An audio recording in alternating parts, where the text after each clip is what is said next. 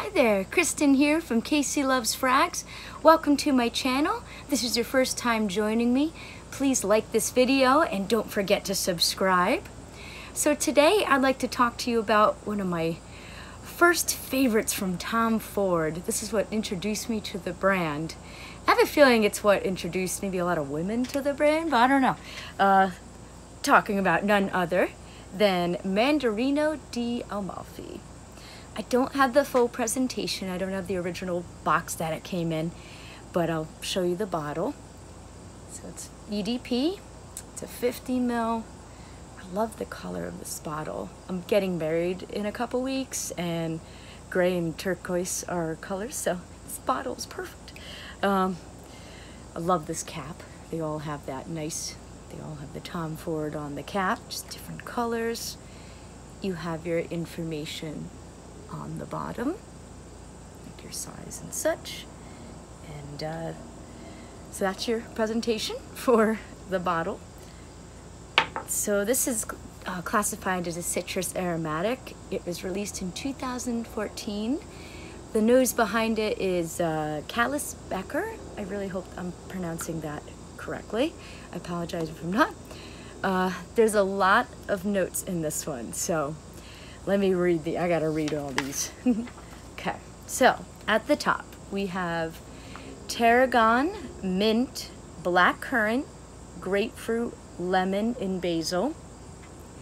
In the heart we have black pepper, coriander, orange blossom, clary sage, shiso, and jasmine. Don't know what shiso is, so if any of you know what it is, maybe comment below. I'd love to hear, know what it is. I guess it might be an herb, but I don't know. Uh, base, vetiver, amber, labdanum, musk, and civet. So it has a touch of an animalistic thing, but don't let that scare you. So I actually have the dry down on this hand. So let's give a spray so you can get that opening. Oh, that's so good. Oh yeah. I love this opening, man. Oh, right away I get a lot of that mint and lemon, grapefruit, bit of the basil comes through. Mmm, that's beautiful.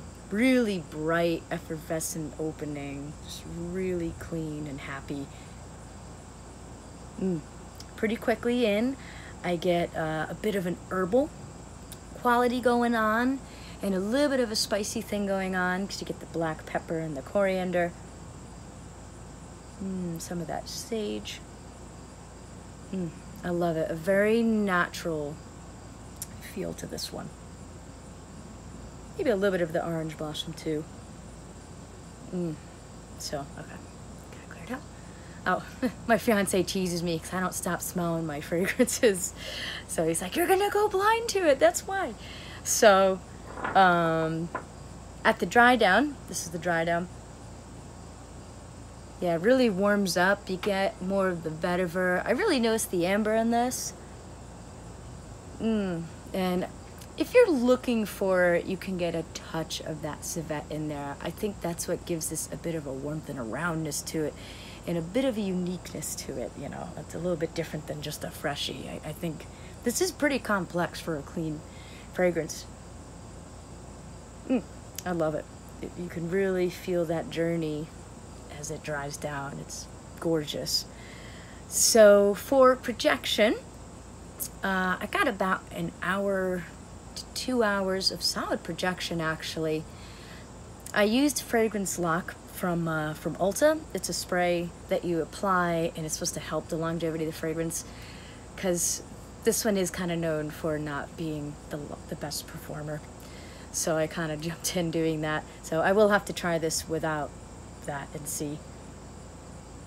Um, but I already kind of do find that just from spraying this without it, it, it sits close to the skin pretty quickly. So I think that lock does help it. But anyway, I'll do a separate video for that.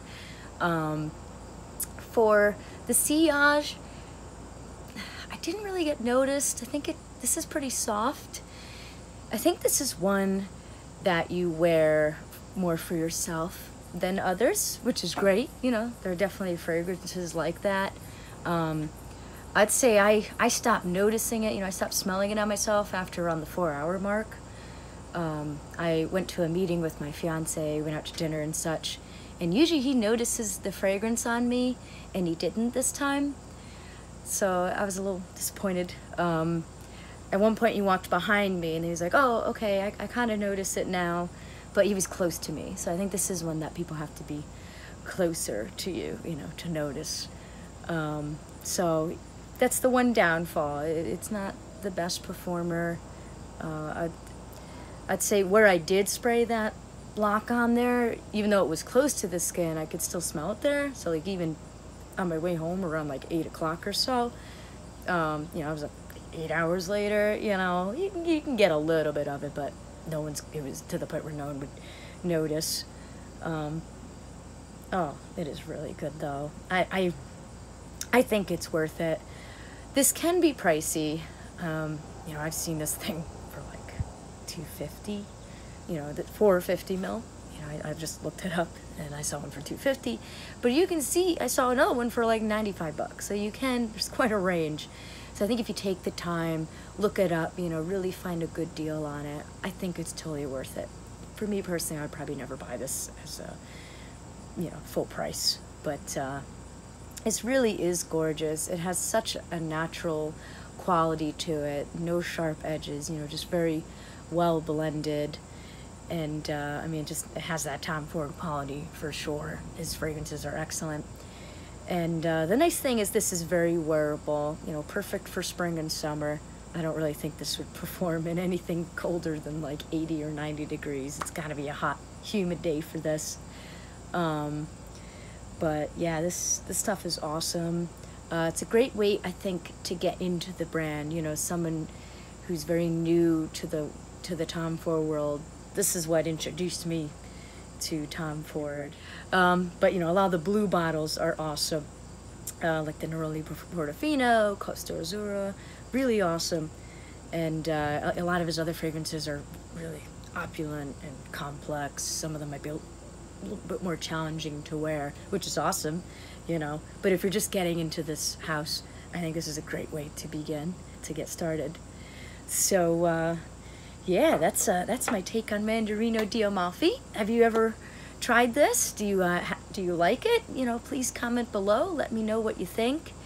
And once again, thank you so much for joining me today. Decided to change it up and go outside on this beautiful day. Of course, the clouds are coming out now, right?